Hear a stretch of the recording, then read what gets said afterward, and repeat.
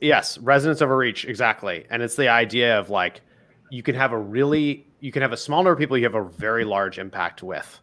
And if you can do that, you can create a connection, you can create an affinity to your to your brand um, that is extremely powerful. And people focus on reach and uh, they focus on reach for lots of reasons like because anything we see has lots of views on it usually right like because it gets shared around and then if you're a marketer and you want to spend money on advertising, then you the measure is often page views or views of the thing or whatever.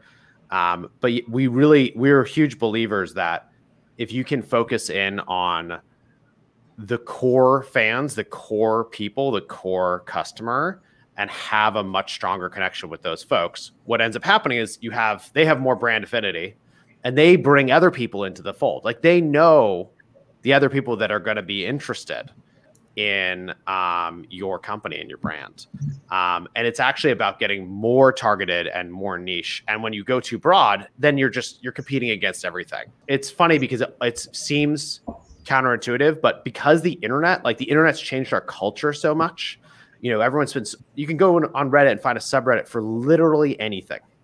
Absolutely, you know, weird, broken, old car subreddit. You know it exists and you know, there's people who are like, I found another weird broken car. Should we fix it up? Should we do, you know, like, is this a good buy or whatever? And like, um, that I think that part of the power is that because we're so connected with each other, things that were really niche are actually still really large numbers.